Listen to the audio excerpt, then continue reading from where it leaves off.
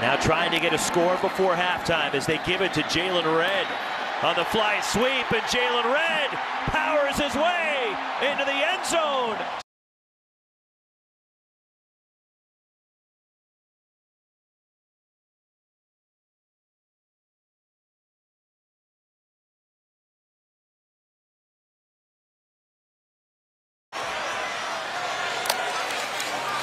On the reverse.